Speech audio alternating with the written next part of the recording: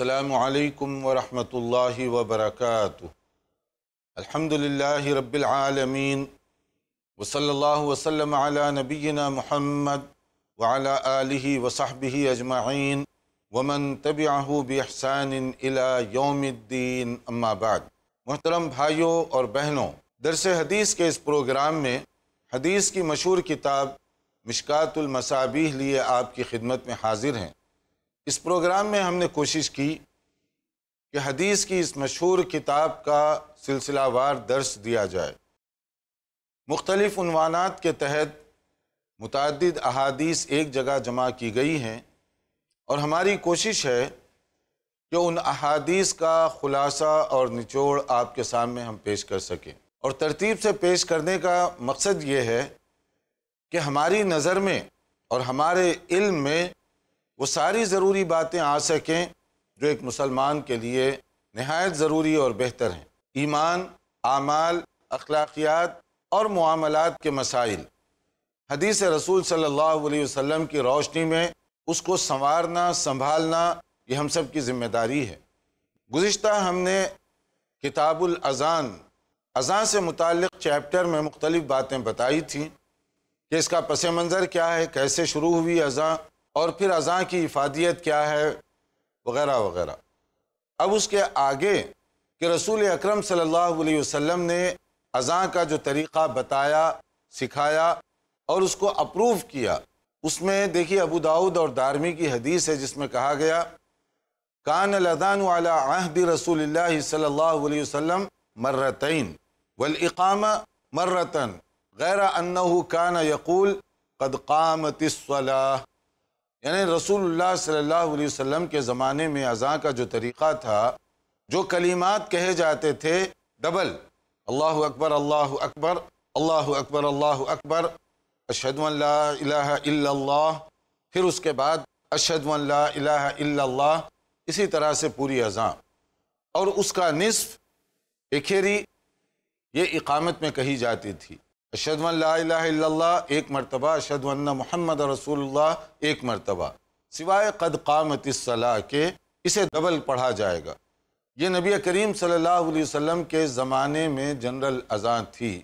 اور جو نبی صلی اللہ علیہ وسلم نے صحابہ کو اذان دینے کے لیے حکم دیا اور سکھایا، اس میں بھی یہی کلمات ہیں کہ اذان ڈبل اور اقامت اکھیری فجر کی اگر اذان ہو، تو اس میں یہ اضافہ کیا گیا کہ حیا الصلاح اور حیا الفلاح کے بعد الصلاۃ خیر من النوم، دو مرتبہ کہا جائے۔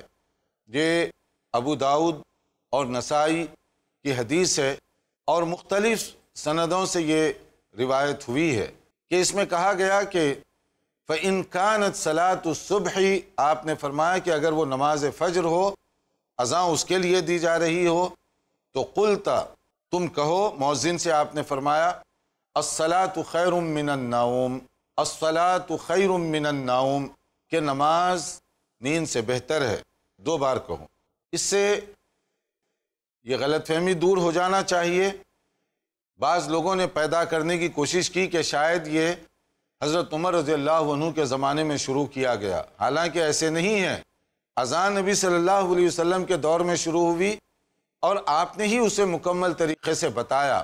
اور پھر آپ نے اس کی وضاحت بھی فرمائی، جیسے ترمیزی کی حدیث ہے اور اس روایت کی بہت سارے مطابعات ہیں، مختلف احادیث میں یہ مفہوم بیان کیا گیا کہ لا تصویبن فی شیء من الصلاة الا صلاة الفجر، کہ کسی نماز کی اذان میں الصلاة خیر من النوم نہ کہا کرو، سوائے فجر کی نماز کے۔ تو اس کا مطلب دو باتیں ہوئی یہاں پر۔ ایک تو فجر کی نماز کا طریقہ بھی رسول اللہ صلی اللہ علیہ وسلم نے خود بتایا اور دوسرے الصلاۃ خیر من النوم، بعد میں آنے والوں کی طرف سے اضافہ نہیں، بلکہ خود رسول اللہ صلی اللہ علیہ وسلم نے ہی یہ طریقہ بتایا۔ البتہ ایک مرتبہ ایسے ہوا کہ کبھی کسی واقعے کو سمجھنے کے لیے اس کا بیک گراؤنڈ بھی اپنے ذہن میں ہونا ضروری ہے، ورنہ اس سے غلط فہمی پیدا ہو سکتی ہے۔ جیسے معطا امام مالک میں مرسلن ایک حدیث بیان کی گئی ہے، اس واقعے کا جو ہسٹوریکل بیک گراؤنڈ ہے، جس سے بعض لوگوں کو جو بعد میں آنے والے ہیں، کچھ کنفیوژن اور غلطی ہوئی کہ ان المؤذن جاء عمر، حضرت عمر رضی اللہ عنہ کے گھر مؤذن آیا جیسے بلانے کے لیے۔ یؤذنہ لصلاة الصبح۔ وہ بلا رہا تھا انہیں صبح کی نماز کے لیے۔ فوجدہ نائما اتفاق سے حضرت عمر اس وقت سو رہے تھے۔ جیسے بعض وقت ہوتا تھا اس زمانے میں کہ رات کی نماز مختلف اوقات میں پڑھا کرتے تھے۔ کبھی ابتدائی عشاء کے بعد ابتدائی وقت میں، کبھی درمیانے وقت میں، کبھی بالکل آخری وقت میں فجر کی نماز سے پہلے۔ تو کبھی ہو سکتا ہے کہ اس کے بعد لیٹ گئے ہوں۔ تو اتنے میں مؤذن نے دیکھا کہ ابھی امیر المؤمنین آرام کر رہے ہیں۔ تو وہاں اس نے ایک جملہ کہا۔ مؤذن نے فقالا الصلاة خیر من النوم، کہ نماز نیند سے بہتر ہے۔ تو عمر رضی اللہ عنہ نے اسے کیا کہا؟ فَأَمَرَهُ عمر أَن يَجْعَلَهَا فِي نِدَاءِ الصُّبح۔ حضرت عمر نے کہا، اسے صبح کی نماز ہی میں رہنے دو، اذان جب دیتے ہو صبح کی نماز کے لیے، وہیں پر یہ جملہ کہو۔ یعنی اس کا جو مطلب محدثین نے بتایا عام طور پر، وہ یہ کہ دوسری جگہ کہنے کی ضرورت نہیں ہے یہ جملہ۔ جہاں ہمیں بتایا گیا وہیں تم پڑھو یہ کلمہ السلاۃ خیر من النوم، اذان کا جز ہے، تم وہیں پر صبح کی اذان جب دو تو یہ کلمہ دہراؤ اس وقت۔ لیکن اس کا یہ مطلب نہیں کہ اس سے پہلے یہ لفظ نہیں تھا اور حضرت عمر نے اچانک اس کو شروع کیا یا مؤذن کے کہنے کی وجہ سے شروع کیا۔ مؤذن کا کہنا خود اس بات کی دلالت کرتا ہے کہ مؤذن کو معلوم تھا السلاۃ خیر من النوم، اسی لیے اس نے کہا تھا۔ اور امیر المؤمنین وہ جانتے تھے کہ یہ اذان فجر کا حصہ ہے، لہٰذا اسے اذان کے باہر نہیں کہنا چاہیے۔ ورنہ حضرت عمر رضی اللہ تعالی عنہ کے اس حکم کی قانونی اور شرعی حیثیت کیا ہوگی؟ یعنی اذان جو اسلامی شاعر میں سے ہے، اذان عبادت کا ایک حصہ ہے۔ اذان مسلم سماج کی پہچان کا ایک بہت بڑا ذریعہ ہے۔ اس کے اندر کوئی حسف و اضافہ کرے۔ اور کوئی ایک جملہ آگے کر دے یا ایک جملہ پیچھے کر دے، یہ چیز تو کسی اعتبار سے بھی درست نہیں ہے۔ کیونکہ اذان یہ نہیں ہے کہ جیسے جو چاہے اس کے اندر اضافہ کر لے۔ اور کوئی اس میں کٹوتی کر دے، اس بات کی بھی اجازت نہیں دی گئی۔ کیونکہ یہ بھی ایک عبادت کی چیز ہے اور عبادات توقیفی ہوتے ہیں۔ اس میں ہم اپنی مرضی سے نہ کمی کر سکتے اور نہ اضافہ کر سکتے۔ جو چیز جیسے بتائی جا رہی ہے اس کو اسی طریقے سے نافذ کرنا چاہیے۔ اذان شروع ہو رہی ہے، اللہ اکبر سے، اور لا الہ الا اللہ پر ختم ہوگی اس کے بعد جو اذان کی دعا وغیرہ ہے، وہ انفرادی طور پر آپ کے پڑھنے کا حکم دیا گیا۔ اور اذان کس طرح سے دی جائے، انداز اس کا کیا ہونا چاہیے، یہ بھی بتا دیا گیا۔ اب دیکھیے، عبادات کے سلسلے میں ایک ایک چیز کھول کھول کر بیان کی گئی، تاکہ کوئی پہلو تشنا نہ رہے۔ اس کے باوجود بعض لوگوں نے اذان میں نہ جانے کیا کیا چیزیں شروع کر دیں اور اپنی طرف سے کیا کیا اس کے اندر مکس کرنے کی کوشش کی۔ دین، عبادات، دعائیں، مسنون دعائیں، یہ وہ ہیں جس کے اندر حسف و اضافہ کرنے کی اجازت نہیں دی گئی۔ جو چیز نبی کریم صلی اللہ علیہ وسلم نے سکھائی، وہی کہنے، پڑھنے میں زیادہ برکت ہے، زیادہ فضیلت ہے اور زیادہ ثواب ہے۔ اب اذان کے ہی حوالے سے نبی صلی اللہ علیہ وسلم نے جو بات کہی کہ کس طرح سے اذان دو، انا رسول اللہ صلی اللہ علیہ وسلم قال لبلال. جیسے اس سے پہلے ہم نے تفصیل سے گفتگو کی کہ حضرت بلال رضی اللہ عنہ کو یہ شرف اور اعزاز حاصل ہے پوری مسلم دنیا کے اندر اسلامی تاریخ میں کہ وہ پہلے مؤذن کے طور پر مسجد نبوی میں یہ عظیم الشان اور اعزاز اور حکمت سے بھری ہوئی خدمت انجام دے سکیں۔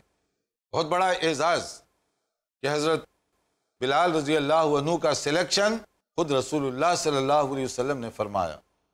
حضرت بلال یہ گویا کہ ایک سمبل اور پہچان علامت بن گئے تھے بذات خود مسلمانوں کی نمائندگی کے لیے۔ کتنا بڑا مقام اور مرتبہ ہے۔ آخر ان کی کوئی اذان کی کیفیت تھی ہوگی نا؟ یہ کسی عام مسجد میں نہیں، مسجد نبوی میں اور عام جگہ نہیں، خاتم النبیین علیہ السلاۃ والسلام کی موجودگی میں۔ اور صرف دو تین آدمی نہیں، سینکڑوں صحابہ کرام کیونکہ مدینہ منورہ اسلامی دنیا کا مرکز کیپٹل سٹی تھا، تو وہاں یہ اذان دی جا رہی تھی۔ یہ کوئی عام مسجد نہیں، عام محفل نہیں اور عام حالات نہیں۔ اور ان کی اذاں کو متعدد صحابہ کرام سن رہے تھے۔ یہ حضرت بلال رضی اللہ عنہ کو اللہ تعالیٰ نے رتبہ بلند عطا فرمایا۔ مکے کے مشرقین نے تو ان کی حقارت کی، مگر اسلام نے ان کے سر پر عظمت کا تاج رکھا۔ اور نبی صلی اللہ علیہ وسلم نے اذاں کا ان کو اسلوب بتاتے ہوئے فرمایا، اذا اذنتا فترسل، کہ جب تم اذاں دو، تو ارسال یعنی رک رک کر کرو۔ آہستہ آہستہ، دھیرے دھیرے۔ وَإِذَا أَقَمْتَ فَحْدُرْ اور جب اقامت کہنے لگو تو تیزی سے، روانی سے بولتے جاؤ۔ اس میں بھی حکمت ہے۔ اذاں یہ تو دور دراز جدھر بھی لوگ ہیں، ان کے لیے اعلان کا بھی ایک ذریعہ ہے۔ تو اس اعلان کو تھوڑا سا آرام آرام سے ہونا چاہیے۔ تاکہ دور دور تک لوگ اس کو سن سکیں۔ اور اقامت، یہ جماعت کھڑی کرنے کا ایک اشارہ ہے۔ نماز شروع کرنے سے پہلے۔ یہ ان لوگوں کے لیے جو آلریڈی وہاں پر موجود ہیں، مسجد میں آ چکے ہیں۔ اب ان میں تاخیر کی ضرورت نہیں۔ آواز بلند کرنے کی بھی وہاں ضرورت نہیں ہے۔ تو اس لیے دیکھیے حکمت، اقامت آپ روانی کے ساتھ کہہ دیجیے۔ اور ایک اور حکم آپ نے دیا صلی اللہ علیہ وسلم وَجْعَلْ بَيْنَ أَذَانِكَ وَإِقَامَتِكَ قَدْرَ مَا يَفْرُغُ الْآكِلْ مِنْ أَكْلِهِ والشارب من شربه والمعتصر اذا دخل لقضاء حاجته ولا تقوموا حتى تروني۔ یہ ترمیزی کی حدیث ہے اور ترمیزی کی روایت اس میں کلام کیا گیا، لیکن اس حدیث کے مفہوم کو اور مختلف احادیث میں ذکر کیا گیا ہے۔ کہ رسول اکرم صلی اللہ علیہ وسلم نے فرمایا اذاں اور اقامت کے درمیان اتنا فاصلہ رکھو کہ جو آدمی کوئی کھا رہا ہے تو پورا کر لے اپنا کھانا۔ یا کوئی پی رہا ہے تو پانی پورا پی لے، دودھ پی رہا ہے پانی پی رہا ہے تو پورا کر لے وہ۔ یعنی اتنا آپ کو ٹائم دینا چاہیے۔ اور اسی طرح اگر کوئی آدمی قضائے حاجت کے لیے گیا ہوا ہے، ٹوائلٹ گیا ہوا ہے، اتنا اس کو وقت ملے کہ وہ وضو کر کے جماعت کے لیے حاضر ہو سکے۔ اب دیکھیے کہ ایک اسلوب بتایا گیا۔ اذاں دینے کا اذاں اور اقامت کہنے کا، پھر اس کے بعد اذاں اور اقامت کے درمیان جو وقت ہونا چاہیے۔ اور اس میں کوئی تعین نہیں ہے کہ فجر کی اذاں ظہر کی اذاں یا مغرب کی اذاں ہر اذاں کے بعد تھوڑا سا وقفہ ہونا چاہیے۔ پہلی غلطی بعض لوگوں کی یہ ہوتی ہے کہ مغرب کی اذاں کے ساتھ گویا کہ ایک آدمی تیار ٹھہرا ہوا ہوتا ہے۔ تاکہ ادھر مؤذن لا الہ الا اللہ ختم کرے اور ادھر اللہ اکبر اقامت کی آواز اس کی طرف سے سنائی دے، دوسرے آدمی کی طرف سے۔ یہ طریقہ مناسب نہیں ہے۔ اذان دینے کے بعد تھوڑی دیر رک جائیے، تاکہ کوئی وضو کر رہا ہے تو کم سے کم وضو پورا کر سکے۔ مغرب کا وقت محدود ہوتا ہے کا معنی یہ نہیں ہے کہ جلدی کرنے کی وہاں اتنی ضرورت ہے۔ محدود ہونے کے باوجود بھی کافی اس میں گنجائش ہے۔ اور کافی اس کا ٹائم ہوتا ہے۔ اذاں دے کر تھوڑی دیر رک جائی اور اگر کوئی آدمی مغرب کی اذاں کے بعد دو رکعت نماز پڑھنا چاہتا ہے تو یہ بھی سنت ہے۔ اس کو اتنا وقت ملنا چاہیے کہ وہ دو رکعت ادا کر سکے۔ یہ صحابہ کرام کے دور میں ہوا کرتا۔ صحابہ کرام باقاعدہ اذان مغرب کے ساتھ دو رکعت پڑھنے والے پڑھ لیا کرتے۔ اور یہ موجودگی میں ہوتا رسول اللہ صلی اللہ علیہ وسلم کی۔ اگر کوئی چیز غلط ہو تو نبی صلی اللہ علیہ وسلم فوری روک دیتے۔ لیکن نبی کی موجودگی میں آپ کے سامنے یہ پڑھا جاتا۔ ہاں یہ آپ کہیے کہ اذان مغرب کے بعد جو دو رکعت ہیں، یہ واجب فرض یا کوئی اس طرح کے نہیں ہے پڑھنا چاہے تو کسی کے لیے اجازت دی گئی ہے۔ سورج غروب ہونے سے پہلے کوئی نماز نہیں اثر کے بعد سے سورج غروب ہونے تک۔ مگر سورج غروب ہو گیا اذاں ہو گئی، اس کے بعد دو رکعت کی اجازت ہے، فرض سے پہلے۔ یہ بعض جگہوں پر اس کا اہتمام نہیں کیا جاتا۔ حالانکہ یہ حدیث کا مسئلہ ہے۔ نبی صلی اللہ علیہ وسلم کے دور میں ہوتا رہا اور اب بھی بہت سارے ممالک میں اس پر باقاعدہ عمل ہوتا ہے۔ بہت سے لوگوں کو حج یا عمرے کا موقع ہوا ہوگا۔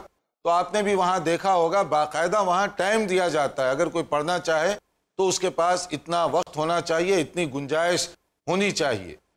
اور اس میں یہ جو ہدایات دی جا رہی ہیں، ان ہدایات کے اندر بھی کافی سارے نکتے ہیں غور کرنے کے کہ ازاں اگر خانہ پوری کی چیز ہوتی تو رسول اللہ صلی اللہ علیہ وسلم کو اس طرح ایک ایک اس کا ازاں کا حکم سکھانے، بتانے کی قطن ضرورت نہیں ہوتی۔ اب دیکھیے ازاں کی فضیلت کیا ہے۔ ہم یہ مسائل اس لیے بیان کر رہے ہیں، سیدھے حدیث کی باتیں تاکہ ہم حدیث سے قریب تر ہو کر دیکھ سکیں۔ اپنے معاشرے کا بھی جائزہ لیجیے کہ وہاں کیا کیا غلطیاں پائی جاتی ہیں۔ ازاں کو ہم نے سمجھا ہے کہ یہ بہت چھوٹے لوگوں کا کام ہے، ہم پہنچے ہوئے ہیں۔ اس لیے ہم کیسے ازاں دیں؟ یعنی ازاں دینا، اقامت کہنا، امامت کرنا، یہ عام اور چھوٹے لوگوں کا کام ہے ہماری نظر میں۔ صحابہ کرام کے اندر بھی چنندہ صحابہ کو یہ اعزاز حاصل ہوا۔ یہ عام لوگوں کا نہیں، یہ رتبہ بلند ملا جس کو مل گیا۔ اللہ تعالیٰ نے جس کو منتخب کیا وہ ہے۔ لیکن ہم نے اس کا درجے کو کم کرنے کی کوشش کی۔ اور یہی کم کرنے کی وجہ ہے کہ بعض علاقوں میں موزن کے ساتھ بڑا ناشائستہ اسلوب اور انداز اختیار کیا جاتا ہے کہ مسجد کا گویا کہ وہ ایسا خادم ہے جس کا کام مسجد کی صفائی ہے، وضو خانے کی صفائی ہے اور پھر وہی پورے علاقے کے لوگوں کو جماعت کے لیے آواز دے کر بلا رہا ہے۔ سوچئے ذرا۔ دونوں چیزوں میں کیا مطابقت پائی جاتی ہے؟ موزن کا مقام کتنا اونچا، لیکن ہم نے کتنا گھٹانے کی کوشش کی اس کو۔ اور موزنوں کو بھی سوچنا چاہیے کہ ان کی حیثیت کتنی اونچی ہے۔ آخر کوئی مطلب تھا؟ حضرت بلال رضی اللہ تعالی عنہ کا اتنا مقام، اتنی اعلیٰ پوزیشن، مگر ایک عجیب اتفاق کہ رسول اکرم صلی اللہ علیہ وسلم کی وفات کے بعد حضرت بلال اذان دینا ترک کر دیے۔ بعض اوقات بڑے بڑے صحابہ کرام کی خواہش ہوتی کہ بلال رضی اللہ عنہ سے اذان دلائی جائے، لیکن عموماً کامیابی نہیں ہوتی۔ حضرت بلال نے رسول اکرم صلی اللہ علیہ وسلم کے بعد بعض خاص موقعوں پر جب خاص صحابی، جیسے نواس رسول صلی اللہ علیہ وسلم ان کی خصوصی خواہش تھی۔ جب وہ ایک مرتبہ مدینہ منورہ تشریف لائے، تو ان کو وہ ٹال نہیں سکے۔ اور انہوں نے اس موقع پر اذاں دینے کی کوشش کی، مگر وہ اذاں پوری نہیں کر سکے۔ ان پر ایک ایسی کیفیت تاری ہو گئی تھی کہ اذاں پوری نہیں ہوئی۔ اسی کے بعد امیر المؤمنین حضرت عمر رضی اللہ تعالیٰ عنہ نے صحابہ سے کہا تھا کہ انہیں اذاں دینے کے لیے مجبور نہ کیا کرو۔ یہاں اصل میں جو غور طلب پہلو ہے، آخر الفاظ تو وہی تھے۔ اذاں کے الفاظ جو آج کوئی موزن دیتا ہے، بلال حبشی رضی اللہ تعالیٰ عنہ کے الفاظ میں کوئی فرق نہیں۔ مگر وہ تاثیر، وہ کیفیت کیوں نہیں پیدا ہو سکتی؟ آج بھی اذانیں دی جاتی ہیں، مگر وہ روحانیت کیوں نہیں پیدا ہو رہی ہے؟ یہی نکتہ ہے سمجھنے کا تاکہ معلوم ہو کہ اذاں کا مقام کیا ہے۔ اور اذاں کے بعد اقامت کے بارے میں کہ اقامت کون کہے، اس میں آداب ہیں۔ کچھ چیزیں آداب سے تعلق رکھتی ہیں، کچھ احکام ہیں۔ آداب کیا ہیں؟ جو آدمی اذان دے گا، اقامت بھی وہی دے، یہ بہتر بات لیکن دوسرا آدمی بھی اقامت کہہ سکتا ہے۔ دو اہم باتیں یہاں غور کرنے کی ہیں۔ ایک تو یہ ہے کہ بعض اوقات اگر کوئی آدمی آ جائے اور آپ کسی مقصد سے اس سے اذان دلوانا چاہیں، دلوا سکتے ہیں۔ جیسے امامت کے لیے بھی یہی رول ہے کہ اگر کوئی آدمی آئے اور آپ چاہتے ہیں کہ مسلح پر اس کو آگے کر دیا جائے اور آپ کی اجازت سے وہ آگے بڑھ رہا ہے تو کر سکتا ہے۔ ہاں اس بات کی اجازت نہیں ہے، شرعی طور پہ یہ درست نہیں ہے کہ کوئی کہیں وزٹ کرنے کے لیے گیا اور بولے بغیر اجازت لیے بغیر مسلح پر جا کر ٹھہر گیا، یہ درست نہیں۔ اسی طرح سے اذاں کا معاملہ بھی ہے۔ مسجد میں ایک مؤذن مقرر ہے اور آپ بتائے بغیر اذاں دینا شروع کر دیں تو یہ بدنظمی پیدا ہوتی ہے۔ اگر وہ آپ کو اجازت دے یا حکمت اور مصلحت وہاں پر کوئی ہو، تب تو آپ دے سکتے ہیں۔ دیکھیے، اسلام میں لوگوں کے جو حقوق ہیں، لوگوں کی قدر شنازی اور ڈسپلین نظم و ضبط، ورنہ مسجد میں کبھی یہ ہو رہا ہے کہ یہ آ رہا ہے، اس نے اذان دی، اس کی اذان ٹھیک تھی، الفاظ یا نہیں تھے، اب لوگوں پر ایک اعتراض۔ کبھی کوئی مسجد والوں کی اپنی پالیسی ہے، کوئی آ کر اس کے اندر مداخلت کر بیٹھے، یا کبھی اصل جو مؤذن ہے، اس کو پیچھے کرنے کے لیے یہ حرکت کی جائے، تو یہ سب چیزیں عام طور پر نظم و ضبط کے خلاف ہیں ڈسپلین اور آداب کے خلاف ہیں۔ اسی طرح سے امامت کا مسئلہ بھی ہے۔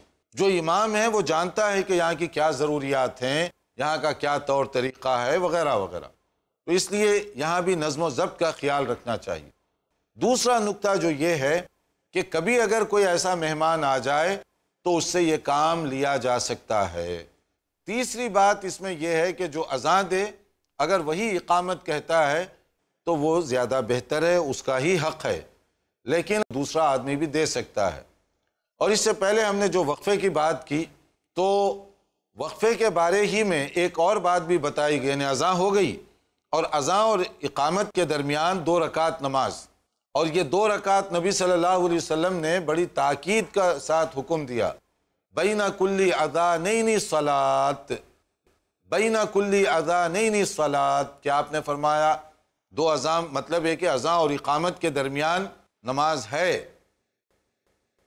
اور پھر ایک بار آپ نے یہی جملہ کہا، اذان اور اقامت کے درمیان دو رکعت ہیں۔ پھر اس کے بعد، ثم قال فی الثالثة لمن شاء۔ صحیح بخاری اور مسلم کے الفاظ ہیں۔ تیسری مرتبہ آپ نے یہی جملہ دہرایا اور کہا کہ یہ دو رکعت جو چاہے وہ پڑھے۔ مطلب یہ ہے کہ ضروری نہیں ہے۔ اگر ضروری ہوتے تو سب کے لیے ضروری ہوتا۔ اذان ہو گئی، جو دو رکعت پڑھنا چاہے، دو رکعت پڑھے وہ۔ اس سے ایک مسئلہ یہ بھی ثابت ہوا کہ اذان اور اقامت کے درمیان اتنا تو فاصلہ دیجیے کہ کم سے کم دو رکعت آدمی پڑھ سکے۔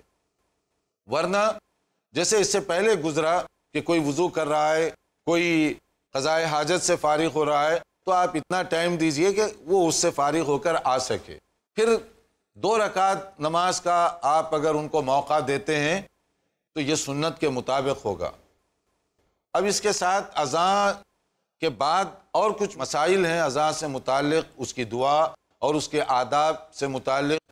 لیکن اب چونکہ ہمارا وقت یہاں پر ختم ہو رہا ہے، کوشش کیجیے آئندہ ہمارے پروگرام میں جو مزید احادیث ہیں اس کو نوٹ فرمائیے۔ انتظار کیجیے آئندہ پروگرام کا۔ والسلام علیکم ورحمۃ اللہ وبرکاتہ۔